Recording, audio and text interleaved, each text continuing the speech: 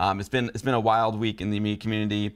Uh, a rare digital portrait of Deborah Harry by Andy Warhol resurfaced and is now available for sale, carrying a $26 million price tag. This distinctive piece of digital art was created back in 1985 on an Amiga 1000 home computer and includes an Andy Warhol signed floppy disk containing 10 further images. And today we've got the person behind this with us, Jeff Bruette. Jeff, it is a pleasure and an honor to have you on the stream today. Uh, how's it going, Jeff? Very good. Thank you very much for having me, Bill. Uh, Jeff, I'm so excited to talk to you because you know I love I love Amiga and I love art. Um, you know, I was growing up, I was really into art and video production. That's what I do for a living today. I'm a cinematographer, and because of the Amiga, like the Amiga, like really gave me a jump into my career. It was the first, you know, as you know, home computer for. Uh, for artists, for the creative types. And so when I saw uh, the Amiga 4096 colors, it just it just blew my mind. So the Amiga's played a huge role in my life as well as a lot of the lives of the folks who are watching right now. And um, the, the, just the iconic Andy Warhol, Deborah Harry launch of Amiga portrait has just been something that's been like burned in our, our brains uh, for forever. Um, so I'm super excited to, uh, to hear about, about it resurfacing and about your uh, your sale and your acquisition of it. I want to hear all about it. But Jeff, why don't you tell us a little bit about yourself first, because you actually worked at Commodore uh, back then. So uh, tell us a little bit about what you did at Commodore. Sure. Um, actually, originally I was hired uh, to do computer graphics for VIC-20 video games, working in the what was called the VIC Commando Group, alongside of Andy Finkel, Bill Hindorff, Eric Cotton, um, under the uh, management of uh, Michael Tomczyk and uh, Neil Harris. And so uh, eventually the 64 came along, of course, did programming for that as well. Probably the, the game I'm known for is um, doing uh, the programming for Wizard of Wor for the Commodore 64. One of my favorites. And oh, really? Yeah, really, yeah, yeah, it's a great two-player game. Love it. yeah. Uh, and it was also one of the, I think, only a couple that you took advantage of the Magic Voice uh, synthesizer.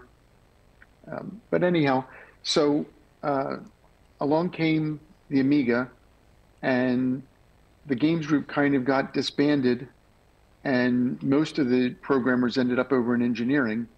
But I took a different direction, and I only I actually uh, shifted over to marketing, which is kind of a odd direction for a programmer to head, but uh, they needed someone to do computer graphics uh, and write little programs uh, for use in the commercials, things like that. So it would look like, let's say somebody was supposed to be doing word processing, but there was no word processor available yet for a new computer.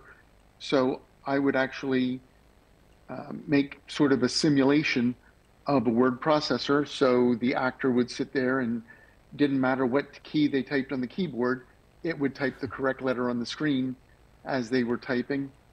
So it was things like that. I also did graphics for the packaging, uh, collateral materials and such. Um, Brilliant. So you're the guy in the movies when they're sitting at the computer and people are like, "Wait a minute, that's not how the program really works." You're the guy who actually makes the program that goes on the on the monitor.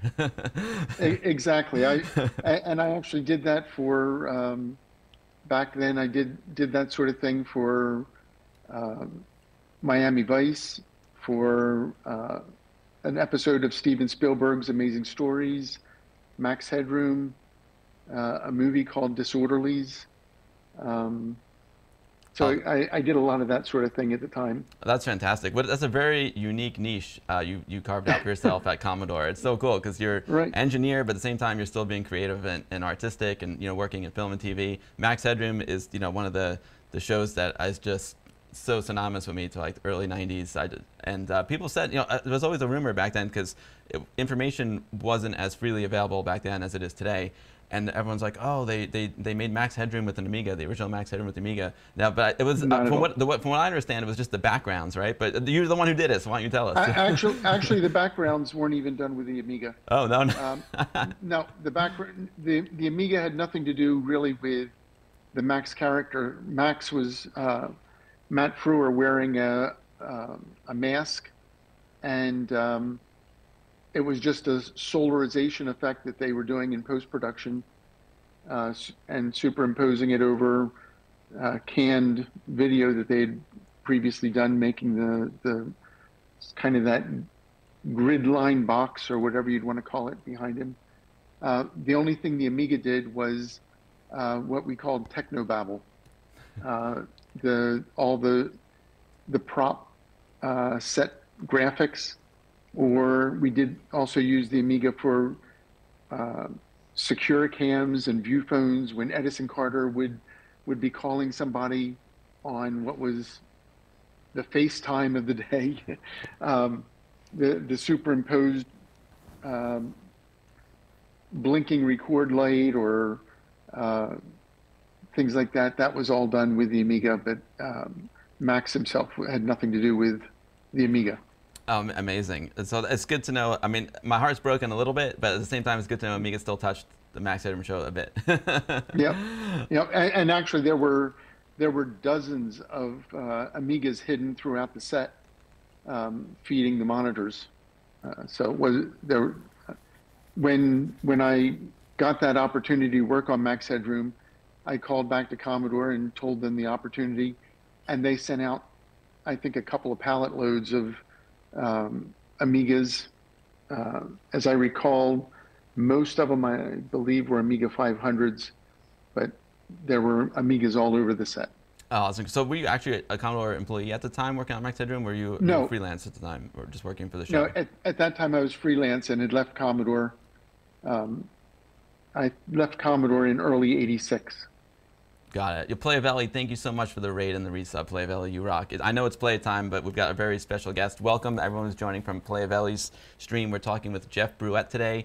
We're talking uh, his time at Commodore, and the, we're going to get the backstory behind the famous Andy Warhol Deborah Harry portrait. I know I've been reading a lot of uh, articles about it, and there's um, a lot behind the scenes that I didn't know about the Warhol portrait. But while we're talking about like cool shows that you worked on with the Amiga, like let's just continue with this for a minute because I know folks watching are going to sure. be really interested in this. So you had Max Headroom. Uh, that was done on. What other shows did you work on uh, that that the Amiga touched? You know, everyone knows like Babylon well, 5 and the Toaster, but I'm curious. I, I right. Yeah. I, I I actually never. Uh, I had kind of moved on from uh, to different things at that point. Um, after uh, the other thing I worked back then with uh, worked with a group called Oingo Boingo in Southern California. Uh, a lot of people don't really may not know Oingo Boingo. I, I worked on that with uh, their um, uh, lighting engineer Charlie Unkelis, and but uh, a lot of people do know the lead singer from Oingo Boingo. Mm-hmm. his name is Danny Elfman and went on to do all the scoring for Edward Scissorhands and Nightmare Before Christmas, and so he's known more for those things. But um, uh, when they did, when Oingo Boingo did live concerts, they had the big screen monitors, and we created all sorts of animations uh, that would play throughout their concert on the big screen. Wow. That's incredible. I I have heard of Oingo Boingo, but I didn't know that the Amiga touched uh, Oingo Boingo as well. I mean, Danny Elfman, an absolute legend. I mean, that, uh, he's uh, it's one of those composers where Tim Burton's movies wouldn't be the same without the the Elfman score. Exactly. Yeah. Right. um, uh, any other any other uh, cool Commodore well, or Amiga behind the uh, scenes TV stuff you'd like well, to share? Um, another one. Um, there used to be a channel that you would back before we had our interactive TV guides, you would tune to, and it would, the lower half of the screen would be scrolling what programs were coming on, and at the top would be advertising of one sort or another. Um, that was, it was called the Prevue Channel. And um, Dave Berezowski, who was one of the, uh, also used to, had previously been with Commodore in the games group, uh, he and I designed that for United Video. Uh, so the Prevue Channel was all done with Amiga, and um, he did the software on that, and I did the design of the fonts and um, the look and feel of that scrolling uh, guide, I guess you'd call it. Jeff, that's incredible. Two things about Prevue Guide. That's another thing that I'll never forget from, from the early 90s. I'll never forget what I, I'd sometimes turn on my TV and I would see a guru meditation, you know, on the Prevue Guide, and I was like, yeah, they're using Amiga, amazing. that's one that's one of my favorite memories because you know, it's, as much as we don't like the Amiga to crash, at least when it crashes, it goes it goes down in style with the guru. another thing, actually, on a, another note, I should be interested. in, I was telling you about Vintage Computer Festival East. Um, there's this, this, young guy. He's, he's, a young guy from California. He, uh, he, and his friends actually recreated the Prevue Guide. Uh, somehow they found the software for it, and they actually have it, uh, you know, uh, displayed live, and they're actually pumping in actual uh, like TV data for that day, when you know modern data into right. the into the Prevue Guide, and they have it up and running and on the Amiga. I think it's a 2000 that they have. It's really it was one of my favorite exhibits. Do you do you recall his name? Was that was his name Ari? Yes, Weinstein? Ari. Ari's his okay. name. Yeah. Yep. Yep. and, and and you and do you know what Ari's cl- real claim to fame is? I don't know. Um. Oh. I'm sorry to draw a blank on on the iPhone where you can program it to do sequences of activities. What? what oh yes, yeah, I know you're talking about. They're like the shortcuts. Shortcuts. Yep. He was the he was the inventor of shortcuts. No way. He never. That's and, amazing. and and he, he's actually he actually works at Apple. Oh, that's yeah. He did tell me he worked at Apple, but he didn't tell me that. I know I've, I've actually he, done he, some work at Apple too, and they're pretty secretive. yeah, he, so, he's the he was the he was the creator of shortcuts. Oh, that's amazing. He's such a nice guy. It was just so awesome to see like a young a young person into Amiga, you know, at Vintage Computer Festival, and not just that, but like doing something really amazing, like recreating the Prevue Guide. It's so cool. mm-hmm. um, so Jeff, so let's let's start talking about uh, artwork and Andy Warhol. Um, now sure. may be a good time to, uh, do you want to show the video first so people have a bit of a background on it or just want to just go right into it and um, talk about it? Do you want to introduce um, the video or? Well, no, what you can. Uh, well, here's what I'm um, interested in. Tell me, to, um, let's set the scene. So you're working at Commodore. Uh, are you in the marketing? You're in the graphics and you're in the marketing department at this time. Right. And uh, someone uh, approaches you, and uh, for this gig, tell me, tell me about, tell me well, just about that whole well, experience there. Initially, I was actually sent uh, after Commodore um, had purchased Amiga, I was actually um, sent out to Sausalito, California to sort of become the product manager for um, what was Graphicraft and ProPaint being developed by Island Graphics. And um, I was actually there for several, literally several months uh, leading up to uh, the planned lunch event um, but then about, I'm going to say a month or so before the actual launch, I was actually called back to the East Coast, sort of unexpectedly, and so unexpectedly that I thought I was just coming back to to handle something and then would be returning.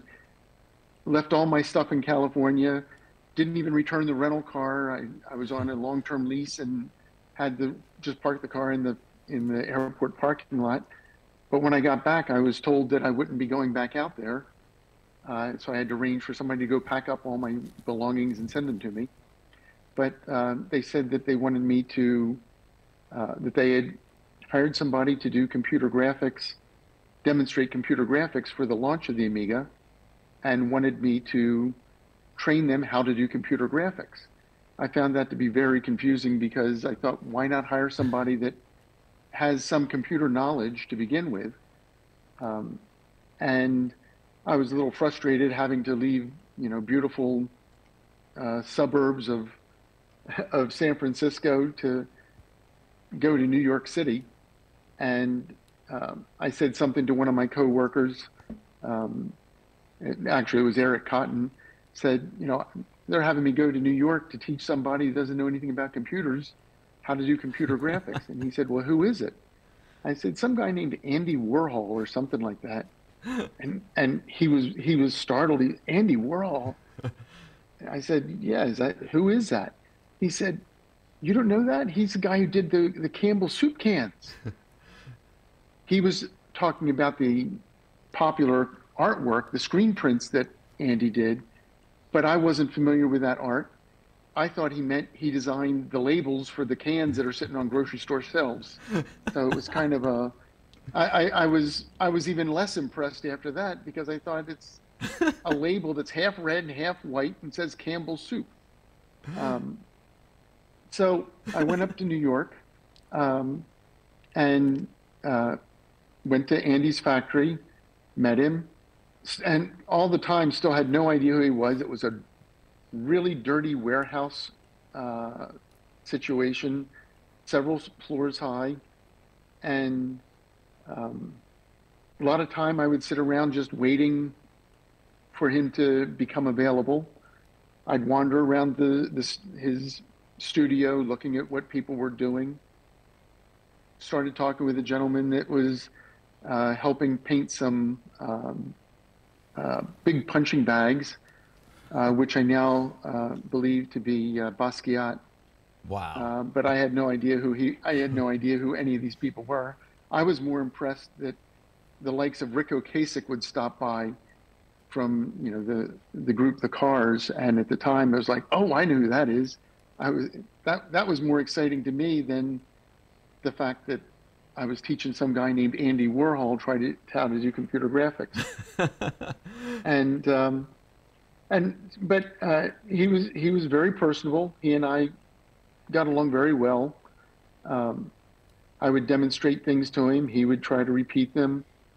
Um, a lot of times things would not stick very well, so we would uh, maybe break for lunch, come back from lunch, and he couldn't remember what the right mouse left button did again. I'd have to give him a refresher, the difference between right and mouse, left mouse buttons.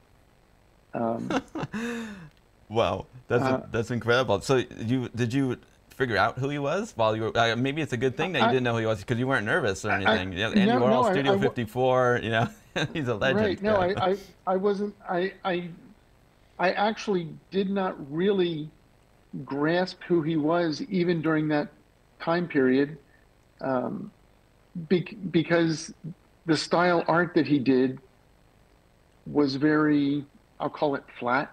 Uh, you know, it was Xerox. I mean, it lent itself this the technique lent itself very well to the Amiga using uh, the uh, A squared frame grabber to do the captures. You know, that kind of gave the uh, Xerox uh, style uh, base image for him to work from.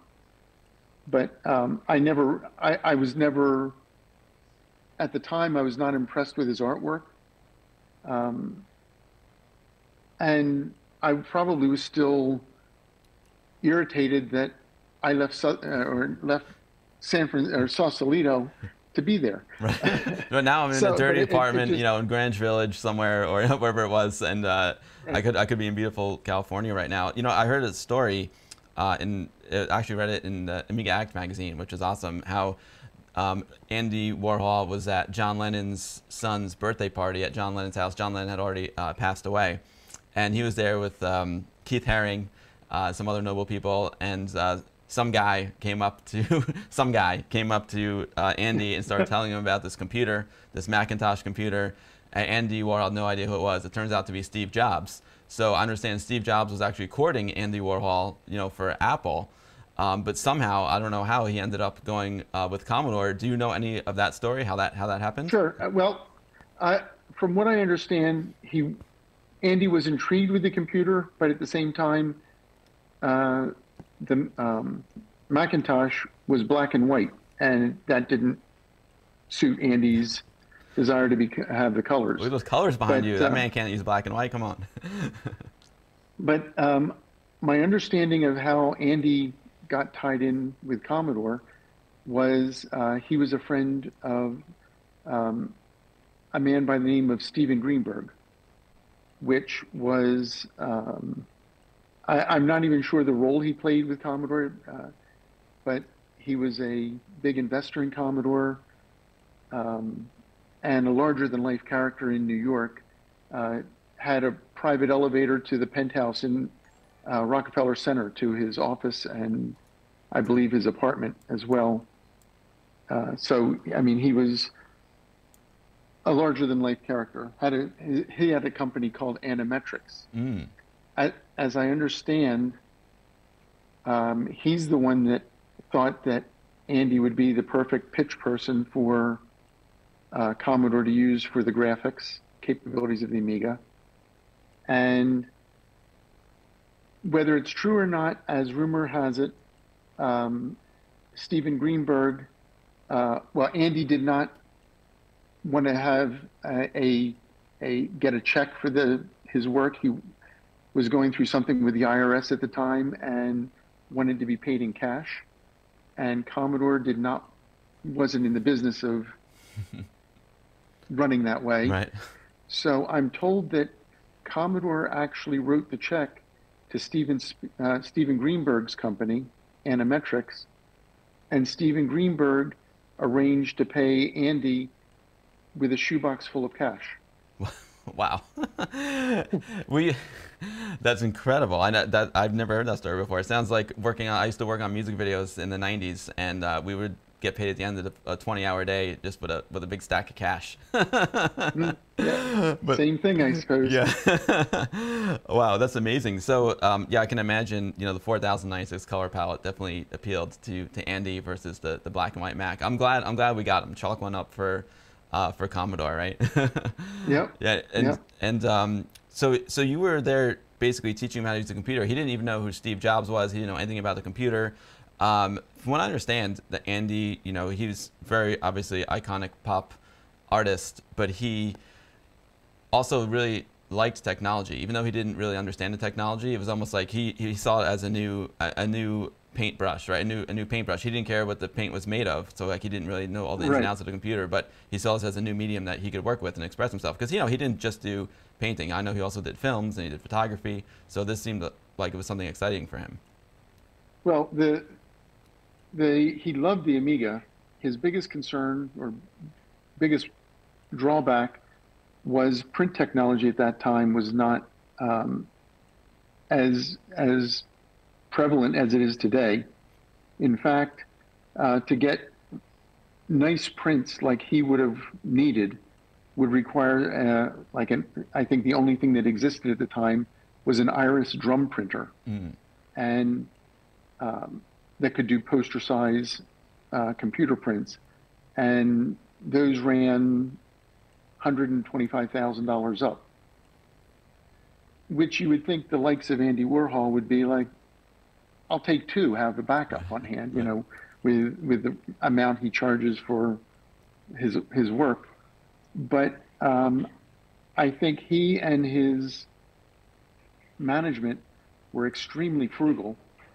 Um, that uh, um, even the the furnishings around the the warehouse uh, or his factory were it looked it looked like he picked up uh, tables uh, you know that somebody set out by the curb. And I mean it was just the o- the only place that wasn't like that that I recall there was a very nice um, reception area. And there was an area, a, a dining room table, a long, I, I would describe it, uh, fit for a king dining room table that sat maybe 25, 30 people. It was all, you know, just immaculate. But everything else in the warehouse was dirty and grungy. And so for him to, I, I think it would have been a, a a big step for him to get a hundred and twenty five thousand dollar printer. That makes yeah, that makes sense. Um, but I guess he was thinking his end game was print and you know not digital. Like he saw this as a tool to end up with a print versus just something that's going to stay digital. But correct. Okay. His, his goal was the output, not not the on screen. Um, and I think Commodore had hoped some technology would come along reasonably priced that they could provide to him, but uh, that never happened to my knowledge. Interesting. I guess they were thinking about their ROI. Like if we spend 120, 150 thousand dollars on his printer, how much could we sell his artwork for? Maybe. well, well, I mean, well, actually, Commodore, um, as, as I believe, his only business relationship was for the launch. Okay. After that, he um, it he Andy and I had kind of developed a friendship from the training sessions.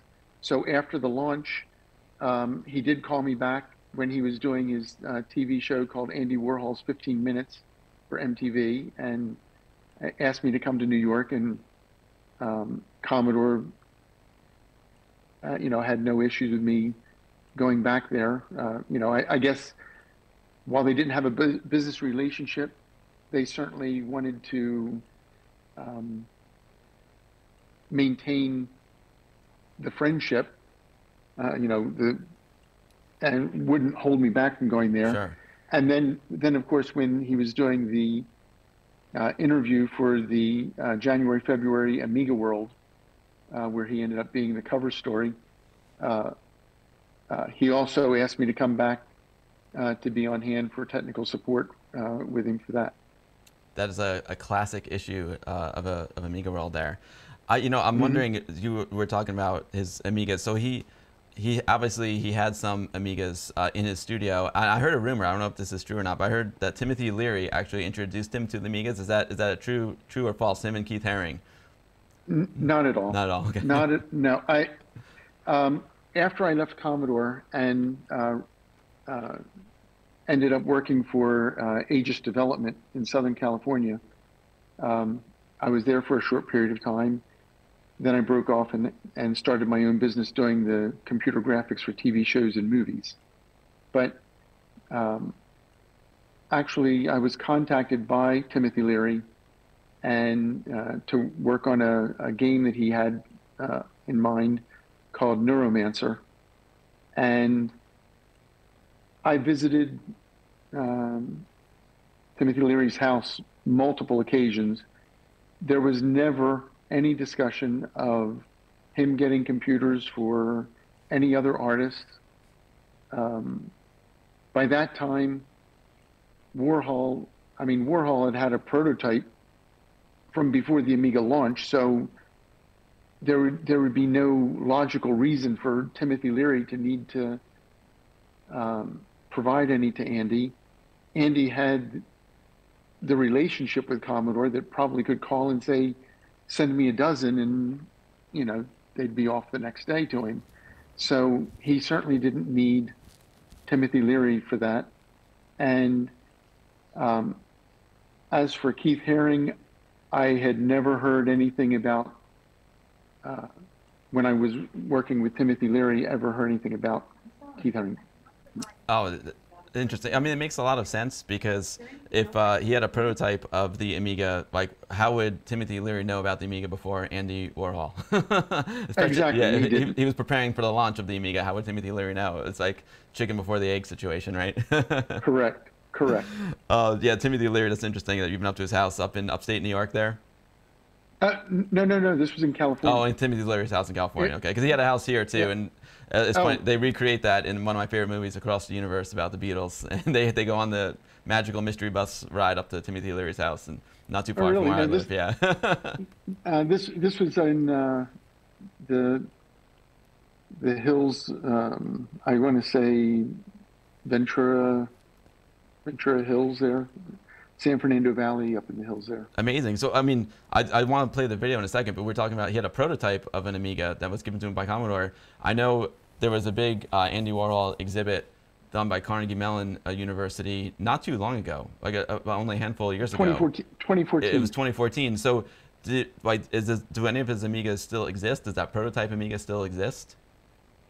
Um, it, yeah, I believe that just about everything that uh, Andy Warhol ever possessed is in that museum, uh, because he was big on keeping everything. Uh, you know, even things that would be considered trash or something if it caught his eye, he put it in a in a uh, box to save.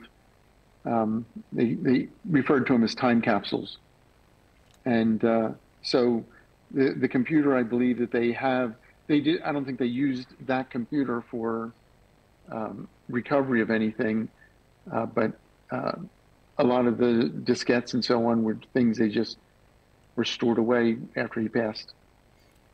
Right. I know they were using. Um, oh, sometimes my, my brain stops working, Jeff. Uh, KryoFlux. The, Cairo, yeah, exactly. To restore, there was like ten floppy disks or something that they restored. Right. Yep. Yep. Um, well, I, I want to see the video. I'm, I'm curious, like that, how how you got your hands on this this piece of artwork and this this disc that they they didn't get their hands on. I guess um, this is unique Well- to you, but yeah, Well, good. The, the, the reason for that is um, the uh, the Debbie image was not created in his factory. That was created at Lincoln Center. So it wouldn't have been a disc in his in his box, I guess you'd say. got it. But uh, the way that I ended up with it um, was uh, on the well. I don't know whether you want to show the video first. That kind of You can tells t- the you can- story. but- Yeah, but why don't you tell us and then we'll watch the video. You can do Okay. the, the brief synopsis. All right. Well, in, in the the morning of the Amiga launch at Lincoln Center, we were going through the rehearsal, and uh, um, I was in charge of the. There were three machines that were being used for the launch, and I was the one overseeing the the center machine, which is where uh, Andy would be creating his artwork. Uh, he was doing that uh, in uh, cooperation with uh, Jack Haeger, who was from Commodore Amiga, from actually Los Gatos Amiga. And Jack had spent a little bit of time with Andy to also to not so much for training.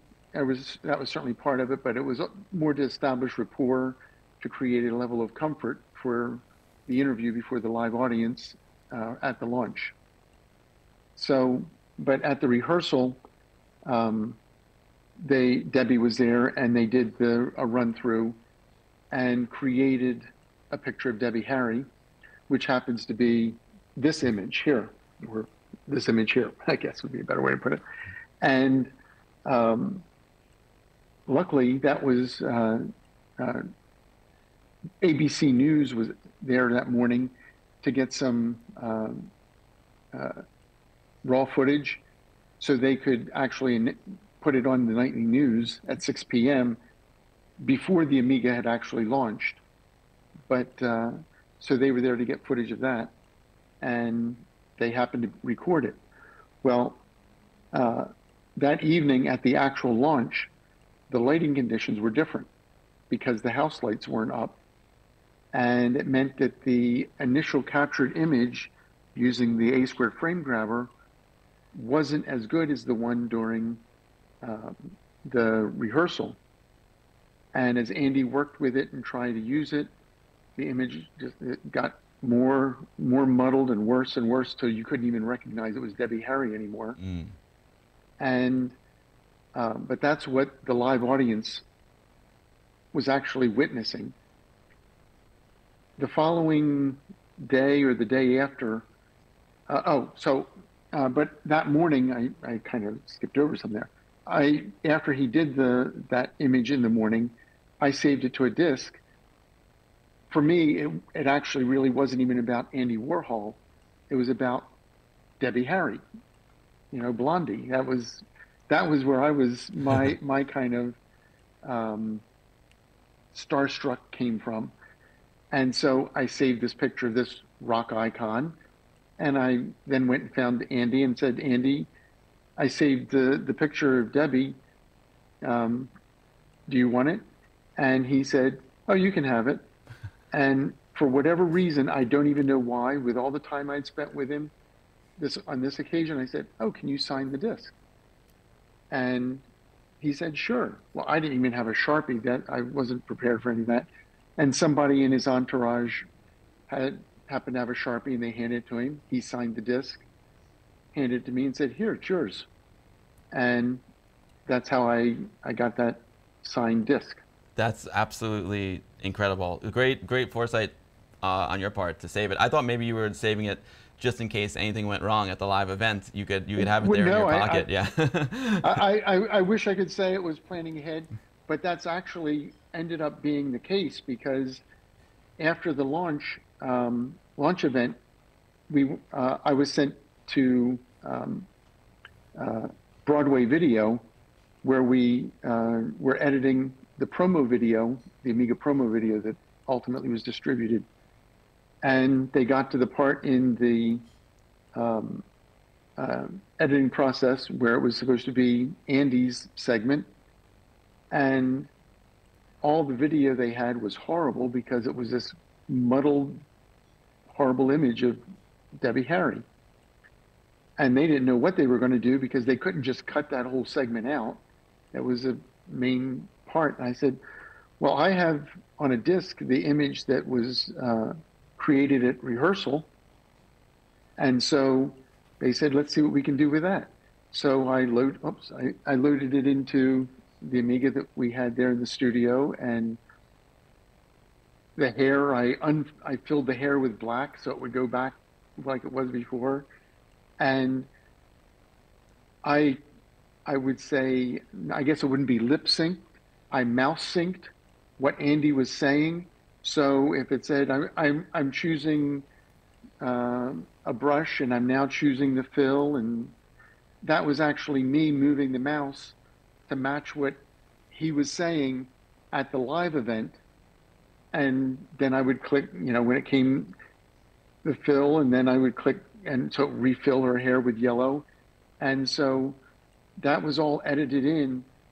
So the rehearsal image is what was edited into the promo video to make it look like it was created live. And if you actually um, look very carefully at the, I'm going to call them the pullback screens when you can see Jack and Andy sitting at the computer, you can see that the Debbie Harry image that's on uh, the screen in front of Andy is not this wow. this image. That's it so all these years when we see the launch of amiga video it comes on amiga forever. I've been seeing it all these years. That is actually a little uh, a little movie magic exactly it that, was actually from the rehearsal that's incredible that's not what anyone saw who was actually at the event and, and i and what i'm surprised is of the thousands of people that were at that event i mean it was a a packed auditorium that nobody has ever said, "Oh, that's that, I didn't see them. That that doesn't that looks much better than what I saw created." Nobody has ever ever said that. Even the press at the time did not uh, never said Andy Warhol created a, a, muddled image of Debbie Harry. Right. It it was never called out, but um, as as you'll see in when you play this video, um, the fact that I have the video footage of Andy creating this Debbie and rehearsal proves that that's the case. that, that, that it was not done at the live event. That's amazing. I know. I just I will play the video in a second, but I'm just thinking about that live event. Uh, RJ Mical, you know, he's very active in the media community, great guy, and he's in Viva Amiga documentary, and he's also in uh, Bedrooms to the Amiga years, and he tells the story. He tells it brilliantly in Viva about how uh, he was very nervous about Andy using the flood fill tool because apparently it crashed a lot, and he was petrified when Andy was gonna. I think maybe RJ says he told him not to use the flood fill or something like that, and then Andy used it during the live event, and and uh, RJ's heart skipped a beat, but somehow it worked. It didn't guru. I, I, well, I can I can address that, and and I'm not I'm not going to say RJ was wrong. Um, I would say, though, um, I am not sure that I'm not sure which paint program was actually being used at the uh, at the time, because while RJ was developing uh, kind of, I guess, the in-house tool, um, I had been with, as I said, with Island Graphics uh, out there overseeing um, the outsourced Graphicraft and uh, ProPaint. So, uh, and at the time, as they continued to develop at Island Graphics, they were FedExing in every couple days a newer version, newer version. For me, I was always using the Island Graphics software. So I may have loaded the Island Graphics uh, paint program into the machine that Andy was using at that time. Mm. I don't know. I, I can't. I, I I can't recall whether I was instructed to load in RJ's or whether I was instructed to load in Island Graph or, or I wasn't instructed and just instinctively loaded the Island graphics um, because they looked, the, you know, they were modeled the same way as I recall in in the interface. Oh, that makes sense. That's another uh, uh, interesting take on, on how that, how could have worked. so far everyone is uh, is loving the interview, Jeff. I really appreciate you coming on today, and uh, maybe we'll do a Q and A at the end. But I think be, now, since we're talking about the launch of an Amiga event, now might be a good time to show show the video that you provided. Sure. Awesome. I'm going to switch Great. scenes here. This is I'm, I'm really enjoying talking to you, Jeff. This is fantastic. Thank you so much for your for your time today. Um, if I go here, I think I've got it. Where is it? Uh, I was getting I was getting ready. Let's see, is it there? Uh, I'm trying to figure out where did I put it. Is it there? Okay. Yes. Okay, there it is. Perfect. I'm gonna hide that. Cool. Okay, guys. So, so this is um, a video that Jeff provided for uh, for the stream. Thank you, Jeff. Let's take a look at the video. This is the untold story of the digital portrait of Debbie Harry by Andy Warhol. In 1985, Commodore commissioned pop artist Andy Warhol to demonstrate the graphic capabilities of their new Amiga computer at a launch event at Lincoln Center in New York City. Commodore produced a promotional video of the event. The following segment from that video shows how Andy Warhol's demonstration was portrayed of his creating a digital portrait of rock icon, Debbie Harry.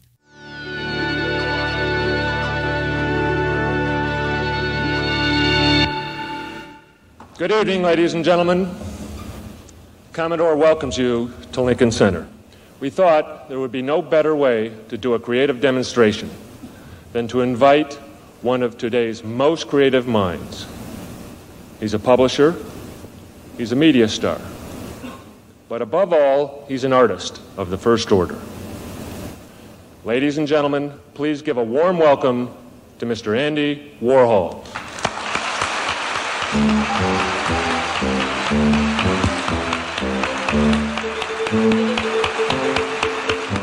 And with him tonight, as a model, is the famous recording star, Miss Deborah Harry.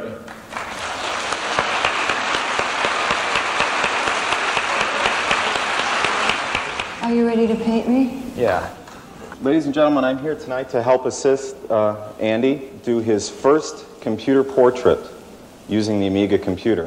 First off, Andy is going to take a digital snapshot of Debbie, which is running on this system, and you can see the image up there on that screen. And we just select the image and it comes down. You found it to be uh, very spontaneous, haven't yeah? It's great. It's such, such a great thing. What more can you say? Uh, well, I can say a lot of things. oh, that looks very good. So now we'll, uh, we'll, we'll, we'll do the hair. So we'll uh, go up to color. Uh-huh and pick yellow. Andy is selecting from the menu bar, which gives you all the features of the, the uh, paint system and he's selecting fill. And this is a, a, slow version of the fill, just so you can see how Andy decides to work. Now this is an instance of a leaky flood fill. Yeah. well, this is kind of pretty. Mm -hmm. I think I'll keep it. Okay.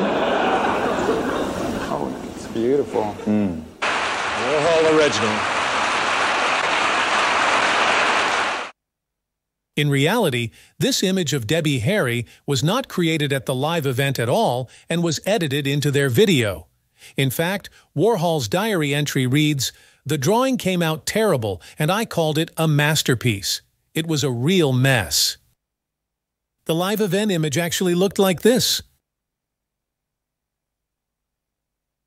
The Debbie Harry portrait that was used in the video had been created earlier in the day during a dress rehearsal for the event. Luckily, select members of the press were on hand for the rehearsal and video recorded Warhol as he created the famous Debbie Harry digital portrait. In this case? We some lights on uh, the model. Andy, where it's one where it's going, just click the right button and do the rest. Yeah, oh, okay. Just click it down. When it's uh, let's get more fun for you. Could you face the camera more? Yeah, a little closer. Oh. No, zoom in. zoom in. Can you zoom yeah. in? Technology, it's yeah, wonderful. Zoom in. Yeah, zoom in. Oh yeah, that's great. Okay. Uh, and just click the right. Okay, look look right in the camera. Yeah, that's it. Okay, let it. Okay. Now save it for you. Yeah. Okay, and then we wait for it to come over. Now what's going on is it's uh, this image is being saved in that machine over there, which has the digitizer software.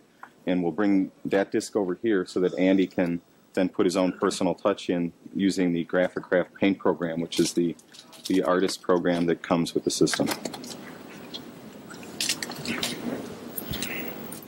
Thank you very much. Okay, and I'll just look this one out. And let me just bring it down for you. And we'll take a look at the palette first. Okay.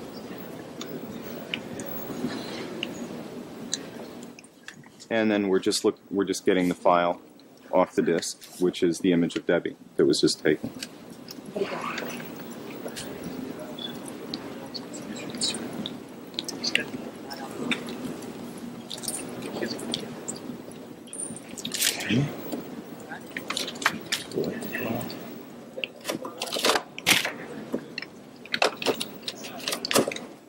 And there you are, Andy. Go to it.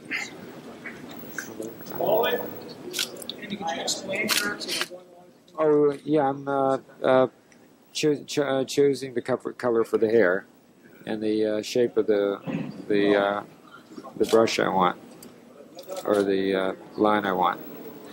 And so I take the uh, the color and And the left button. and use the left button.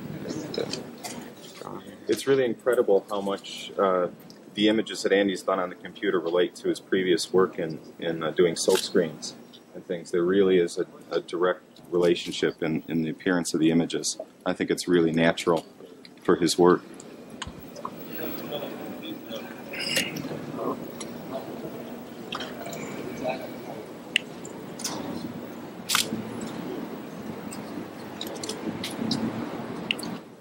Now you've you've been working on this for about a week, Andy. Yeah. You you feel it's uh, pretty easy to learn? Oh yeah, it's really it's uh, well, it's the only one I've ever wanted to work on. Hmm. And it's really easy.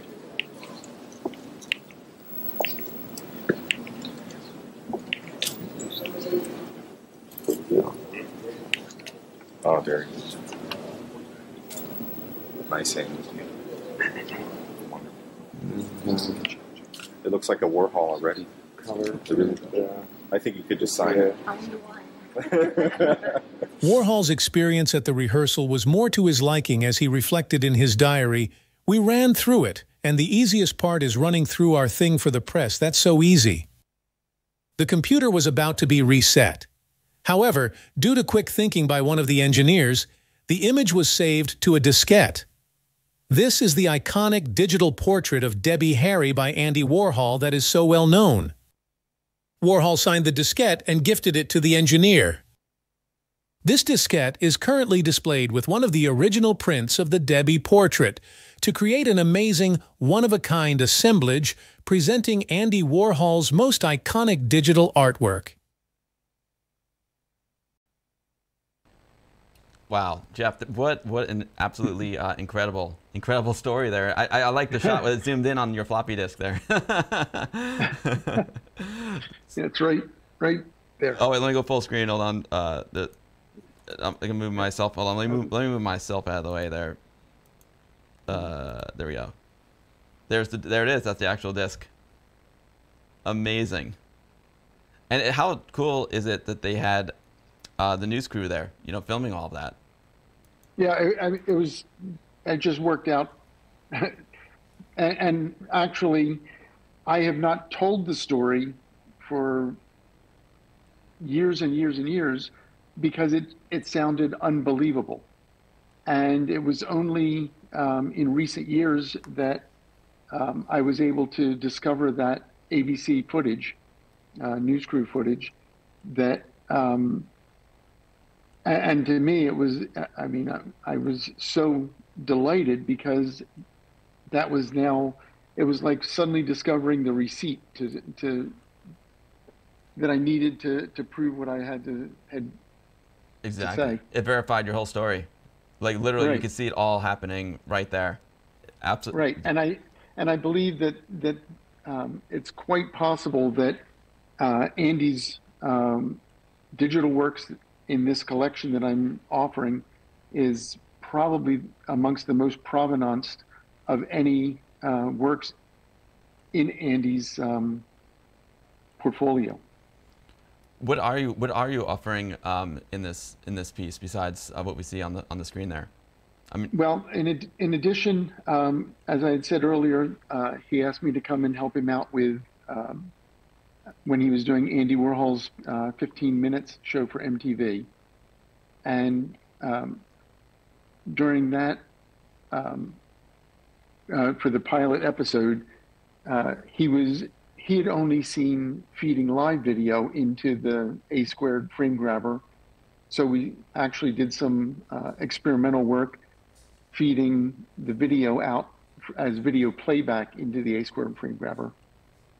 Um, and that appears in the um, pilot episode with a model named Randall Krebs. Uh, but during experimenting, we actually captured a frame and uh, he colorized that. So there's an image of uh, this model uh, by the name of Randall Krebs, as I said. So that's uh, one of the images. And then for the Amiga World interview, um, there were several images that you have probably seen in uh, the that accompanied the interview article itself. Uh, and incidentally, uh, there's a couple of times throughout that interview where he they they mention where he asked Jeff to do something. Jeff, can you can you adjust something or whatever? That that was me that they he's referring to. But um, so uh, I have uh, all of the images that he did during the Amiga World interview.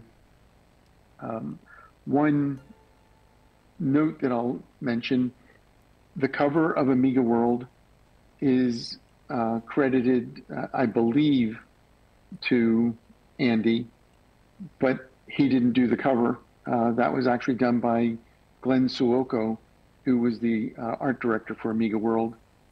Um, uh, Interesting, because Andy Warhol's actually in the image. Let's see if I can find it and, and pull it up. Yeah. Uh, if I, I can probably Google it real quick. Amiga World. Andy W A R H All. Let's see, I'm pulling it up now. Um, Amiga World. Oh, that's fine. Now, oh, that's good. I, you come up first. nice one, Jeff. You, you I see. Uh, okay, I see, Amiga World, Andy Warhol, Amiga World magazine. Co yeah. Cover, yeah. Yeah, I'm putting some keywords here. Uh, let's see. I know it's the purple one. It's in one of the. It's in one of the. Uh, the articles that I have. Let's see if I go to well, images. Uh, of, of that, um, I actually have um, uh, four variants of that cover. Uh, one that Andy did that is quite colorful. Um, oh, here it is. I got and it. About got time. Yeah. Uh, where'd it go? I, I, I got it. There it is. All right, I'm just gonna. I'm just trying to make it uh, full screen here, and then, uh, well, this is this will be close enough. Uh, if I go back here, and I go down to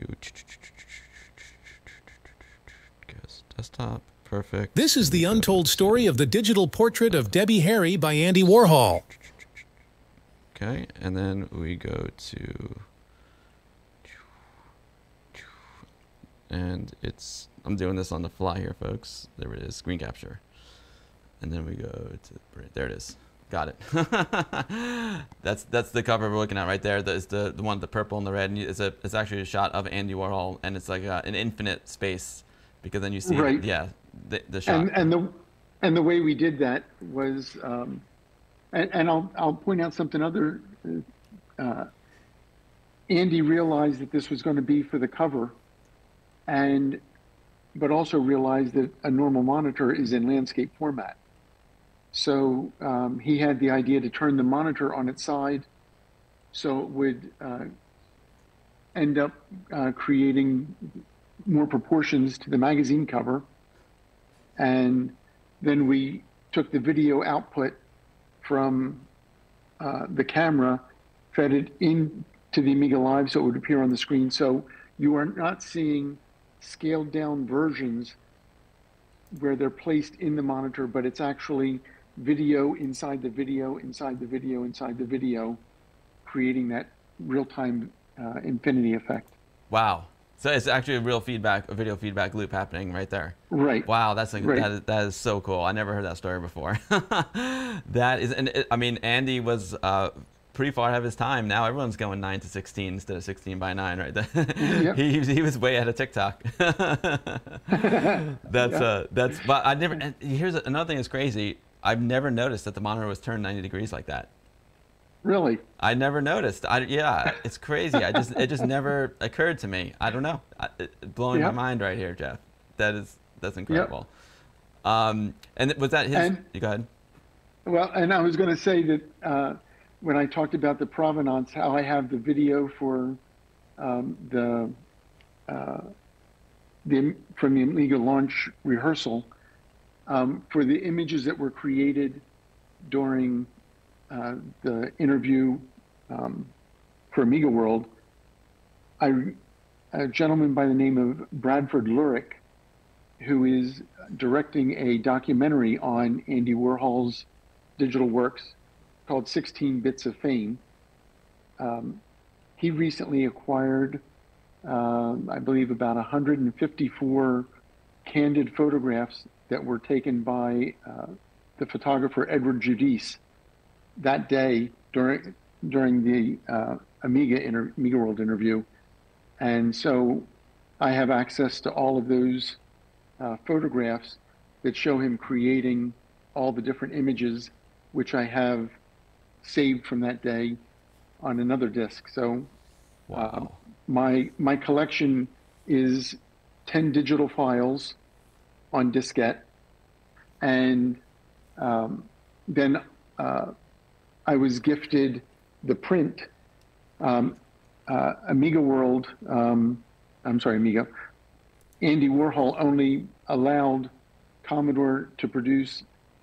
There's some unsure uh, about this, it- whether it was uh, three prints or two prints. Debbie Harry believes it's two prints, um, but I had heard that there were three prints and perhaps an artist proof that were produced, physical prints of the Debbie image. And um, I had years after I had left Commodore, I happened to, I, I still maintained a close friendship with many people there. And so if I was on the East Coast or actually when I ended up moving back to the East Coast, I could go to Commodore's offices, get a visitor badge and just sort of wander around and say hello to people and such. And um, one of the vice presidents was leaving the company.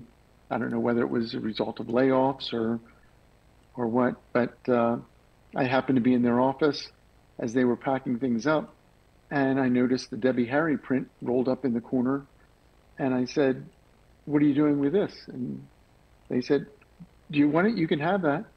And so they gave it to me, and um, that's where this print comes from, and um, it's a print that was would have been produced on that the Iris drum printer um, contemporaneously back when uh, Commodore had that relationship. I had actually, at the time when I was actually working for Commodore, I I couriered the disc to the printing company, and courier and then went back later and couriered the prints back, um, and so perhaps they thought maybe I was deserving of one. I don't think they had any idea that of the eventual value that it may have, but here we are. Wow. And is the one that's over your left shoulder there? Is that the actual print um, that you got at Commodore that day? Yes. Amazing, amazing. So there is, there is a piece of, and, you know, Andy Warhol. That's what he would have liked. He would have liked to have the print of it. And you said I- which which the museum doesn't even have. Museum only has a photograph of the computer screen. oh wow, I mean, that's the Andy Warhol Museum in Pittsburgh. Correct. Yeah, amazing. And, and you said there were a couple of other prints as well. You got the one that was. Um, that no, that that's the only physical print. Everything else is is in digital format. Is there? There were the the nine. There were nine, um, eight images from the Amiga World interview session. The one of Randall Krebs from the MTV, experimental um, image, and then the Debbie. And you said those images are on floppy disks. So what format are they in? Um, uh, I some of them are in IFF, but there are others on there that um, when I try to read them, it tells me that they're not readable, and they could be the P. Uh, well, now I'm now you're now you're straining my technical. Oh, memory. no, no worries. Um, I, I, I, I've heard something like, is it P, PLBM or I know ILBM. I don't know. I don't know. ILBM? But I think there was something else. Mm. Maybe, maybe not. It, it, it could, but there are some that that current paint programs won't read. So it's possible, to be honest with you, whoever ends up acquiring the, the, the tangible assets here could end up with other images that I'm not even aware of. Amazing. They said it's IFF PLBM.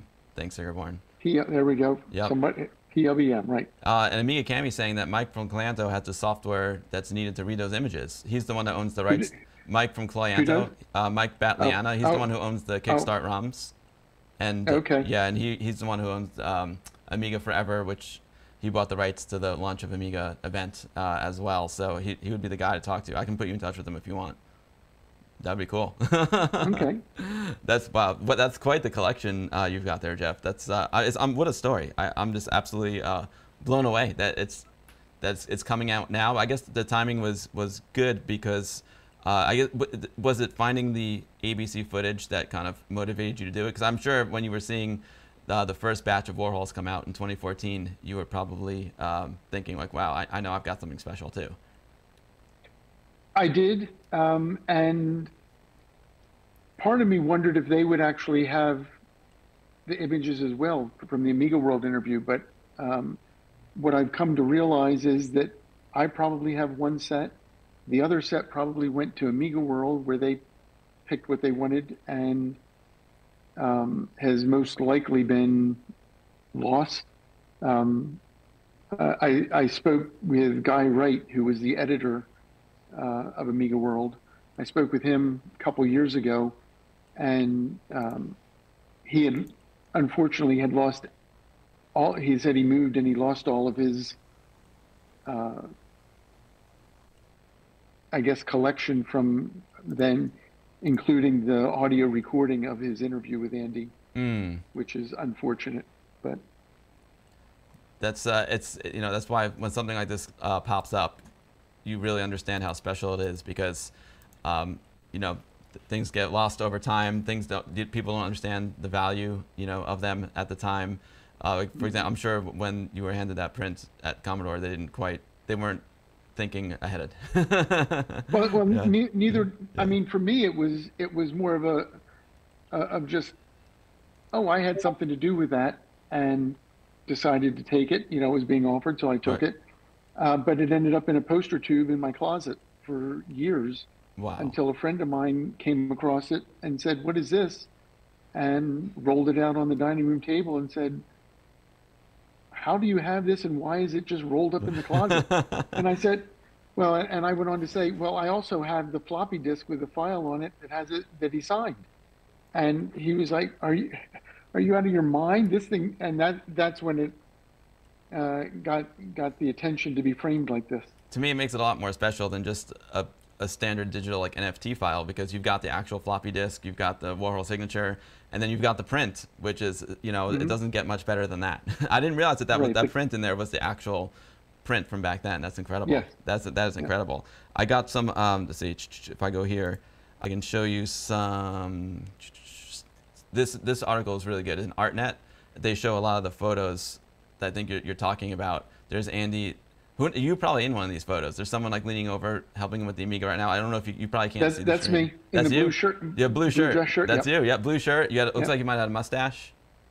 Yeah. Yep, yep, that's you helping him. That's it. oh, oh, there it is. Andy Warhol working on computers with the help of Jeff uh, Bruette and uh, Glenn Suokko. Amazing. Yeah. this is okay. And there you are um, with Kenneth Mitchell as he's helping you with the sale of the items. Right. Kenneth Mitchell's overseeing the sale of the collection. Amazing, amazing. And there's the there's the the cover that we're talking about, Amiga World. Uh, and there is so Pro Paint. I'm I'm curious. That's so cool. I, am still blown away that that's not the image that's in the video. I'm, it's still blowing me away. Oh, and okay, so I'm looking here now. This is a self-portrait that Warhol created in 1985 using the Commodore Amiga computer, and it's a shot of your 1084 monitor um, with the Pro Paint image of Andy on it. Can you tell us a little bit about that one? Well, which, which image was that? The, um, so it's, what, it's, it's, I, actually I can't see it. Yeah, it's my... a it's a photograph of like a 1084 Amiga checkmark monitor, and then on it is a it's a shot of Andy. It's a it's a self portrait by Andy Warhol created in 1985.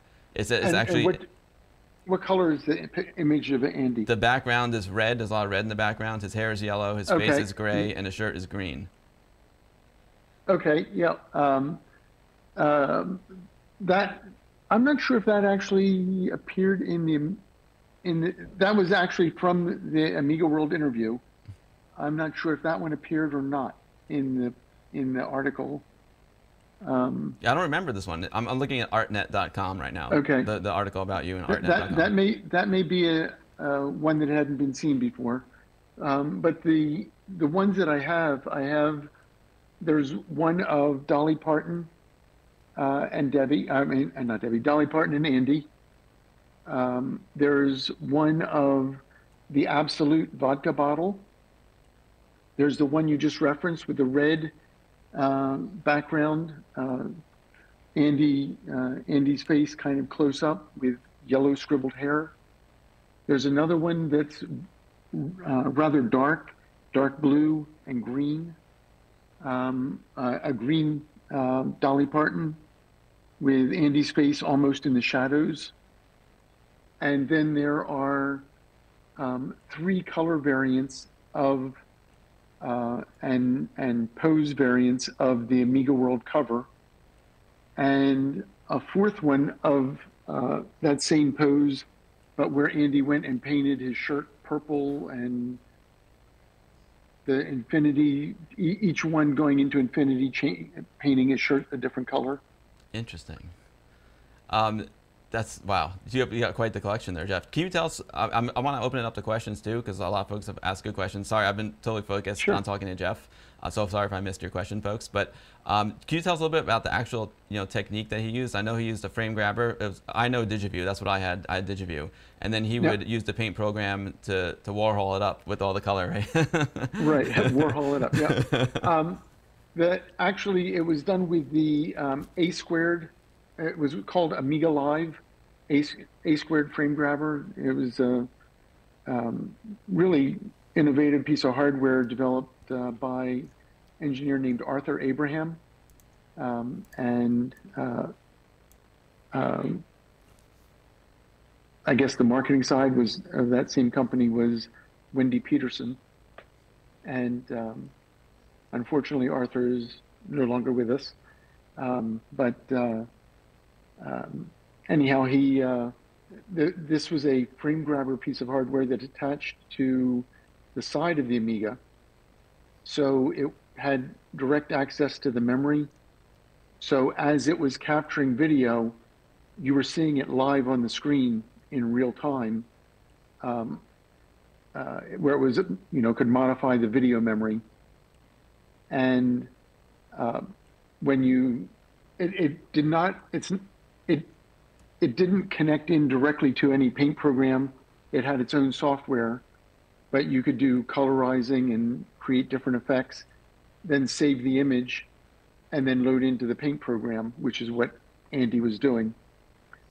Um, it makes sense that's, that's a that's a nice frame grabber because i know when i was using digiview i want to take a frame grab from video, I need to have like super perfect pause capabilities, flying a race head, right? Or I had to take yep. it from a Laserdisc player. It was impossible to get a good a good grab, you know, with that, unless you right, had the right, right this, equipment. This, that's that makes it a lot easier.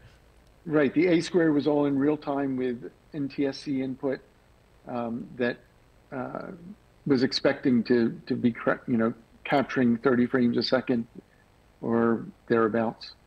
Amazing. Um, so, uh, so a lot of folks would like to know a little bit more. They're they're very excited about Jay Miner. If you worked with Jay Miner, if you met him, I I met him.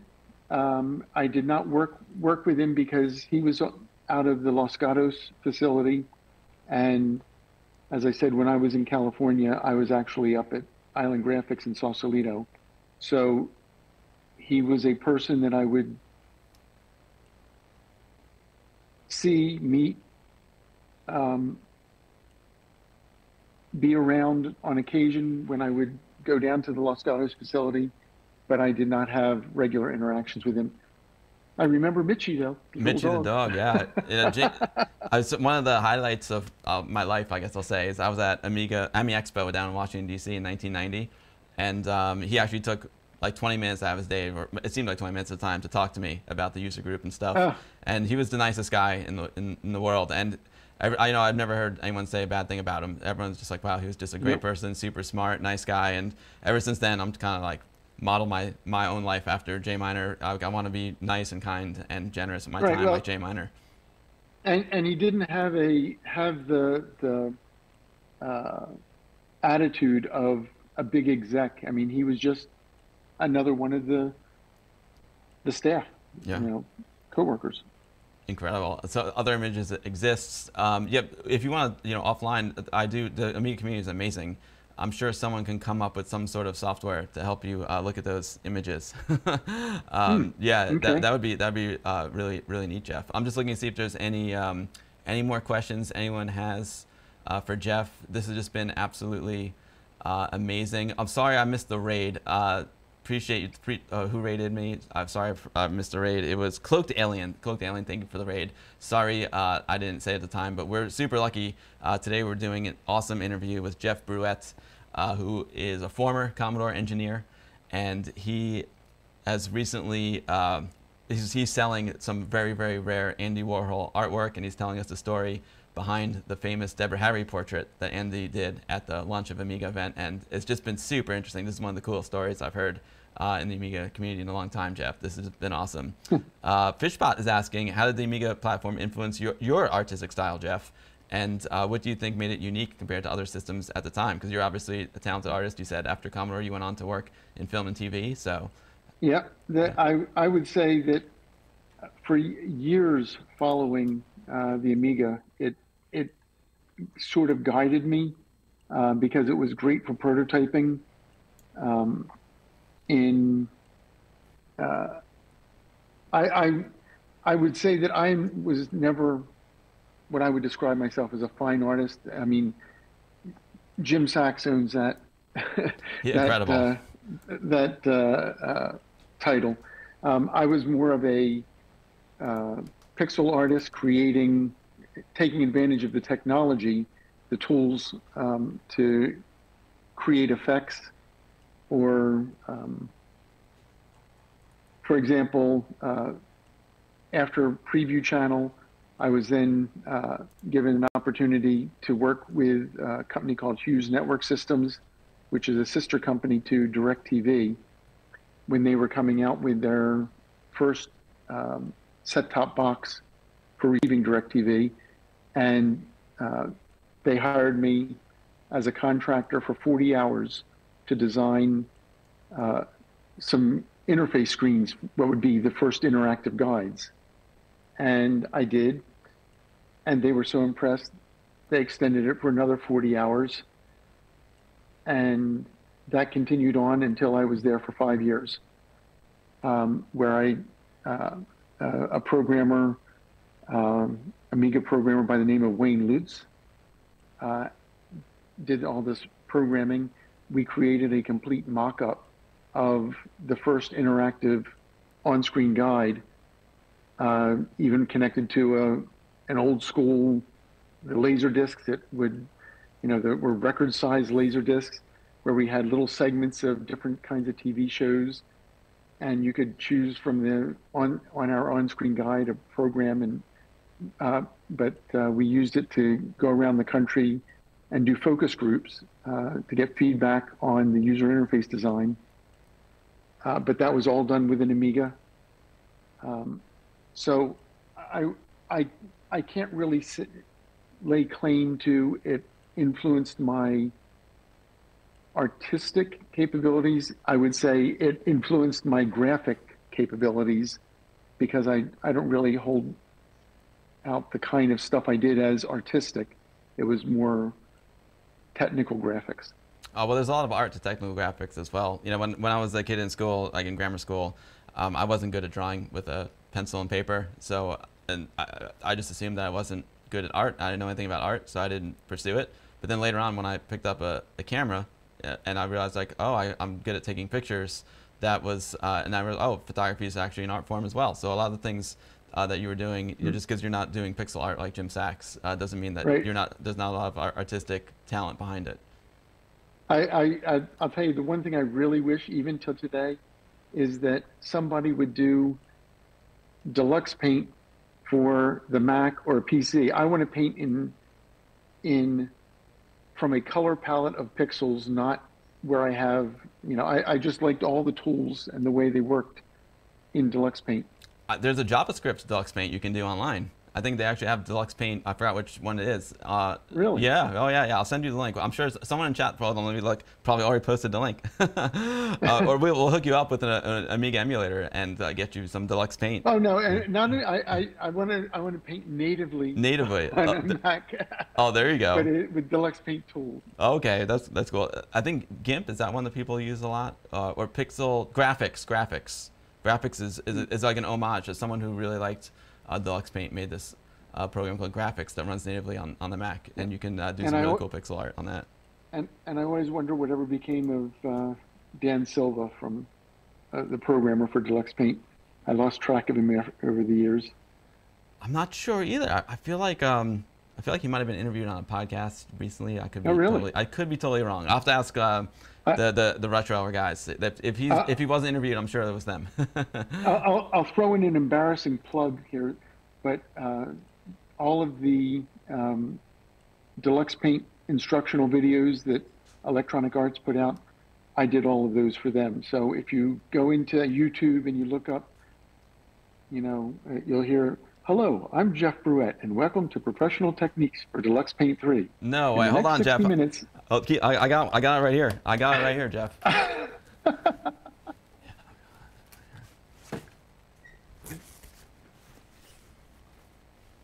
And and is my picture on the back? Well, let's say one second. I gotta put my headphones back on. I'm uh I'm doing a new technique here. Let's see. Is it uh let's see. It says it says our host takes you right inside D Paint 4 guided tour, and then we got uh yeah these are okay these are Deluxe Paint 4 vid, uh, VHS videos. I'll have to I'll have to load them up and see. But um yeah my friend. Thierry, he's got AmigaVideo.net, and he's like tried to. His, his mission was to get like the best quality archive of the classic videos. So um, yours is definitely up there. I'll have to send you the link to AmigaVideo.net. That's awesome. Oh, that's crazy. Um, yeah, yeah. I know Andy Warhol died really young, really young. It was really, really yeah, sad. He, he died in '87. He only died maybe about 18 months after the Amiga launch. Uh, that's really, that's really, really sad. But he definitely, he definitely left his mark uh, on the world, on the art community, and uh, and on us Amiga fans. Um, so Jeff, like if someone watching is interested in your collection uh, and the possible purchase of it, how would they reach out to you? How are they? Uh, um, uh, send an email to me, Jeff jeffbruette at gmail.com, and I will put them in touch with Kenneth Mitchell, who is the sales agent uh, for the collection. Oh, fantastic! Uh, that's uh, it is quite the collection. It's going to be someone. I wonder. I'm curious if whoever ends up with it uh, goes public with it. And I would I would love to see if some of those images can can be recovered. That would be amazing too. Mm. Um, and like I said, the media community is incredible. If anyone can figure it out. It's the it's the folks like who are active in the community now. Like I always say on these streams, like I'm the I'm the dude on the camera, but it's really all the folks who watch and are in the chat that are they're the real hmm. smart ones. It, it, you'd be amazed, Jeff. You would be uh, absolutely amazed. Um, this has just been uh, amazing. Uh, I don't know if anyone has got any more questions for Jeff. They're putting some links into the chat now. Uh, dpaint.org and uh, where you can actually go use dpaint like in a, in a web browser. Oh, okay. Which is really, really I, cool. I, yeah, check that out. Everyone said it was a great interview. They appreciate you coming on. They appreciate you telling your story and sharing like these incredible insights into Amiga history with us, Jeff. It's just been awesome. I really appreciate you coming on. I appreciate your time. Oh, and oh, Janiac is asking, is that Andy's actual 1000 behind you? No, it's not. No. No, no, no, no, no. I the the museum would never let that out of their their hands for nothing. So.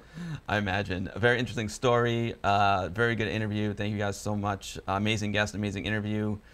Pixels at Dawn from Amiga Addict Magazine, great interview. So interesting. Oh, Greg had a good question. Uh, the video that you sent to me that we showed on the stream, uh, they're wondering Yeah. if it's available online anywhere for them to watch. If, if, if not, I can put it on my YouTube channel if you want, or you, you can, you know, if you have a YouTube channel and want to put a link, whatever you want to do, if you want to Um, get out there. I it it's that is not out anywhere. Um, um, there there will be a website probably before the end of the day called digitalandyart.com um, that will have some interesting resources and where you can see all the different images. Um, that's not live at the moment. It'll be, like I said, end of the website's done. It just needs to be put live and ran up against the clock for this interview, so didn't get a chance to make it live. What's the URL again? What's it going to be called? Digital Andy Art. Digital Andy com. Art. I want to. Uh, I want to make sure I write that down. Include it in my in my goodie bag. Digital Andy Art. I'm just gonna put it right. D I G I T. Digital Andy Art. Excellent. So that's where the video uh, will be. DigitalAndyArt.com. Yeah. Okay. Excellent. Um, and Jeff, what are you doing? What are you doing these days? Are you still Are you still working? Are you still? No, I'm I'm retired. Um, um, just just retired and trying to trying to enjoy life, I suppose. Well, you're doing you're doing great things. Uh, everyone- great interview. Thanks so much for all your time, Jeff. Uh, appreciate Thank it. you. Amazing and Thank you interesting for having me. interview. Yeah, Jeff, this was really awesome. You know, I just uh, as soon as I heard about the story and I read the articles about you, I was like, oh man, I think I, I would love to talk to Jeff because I'm sure he's got some interesting stories. Then you sent me that video, and I was like, oh man, this is gonna be awesome. and Jeff, let's definitely keep in touch because I want to, uh, you know, invite you to the Vintage Computer Festival East for the Amiga 40. If, you know, no pressure, but you're if you're Yeah. if you're into it, and we'll just keep in touch. Sure. Uh, you know, on online as well. I'd love to hear how the sale goes, and you know, if, if the whoever buys it is uh, willing to, you know, share share uh, their identity. uh, It'd be interesting to see who gets it and what they do with it. Right. It- It'd be very cool. Our Yep. best interview yet. Awesome, guys. Jeff, thank you so much. Uh, I'll be in touch. thank and, you. And that was that was really great. I hope you had fun. Thank you. Thank you for having me. All right, thanks, Jeff. bye bye. Bye. Bye bye. Great interview. Thanks, guys. Appreciate it. Appreciate it. Whew. He was a really nice guy. He was a really nice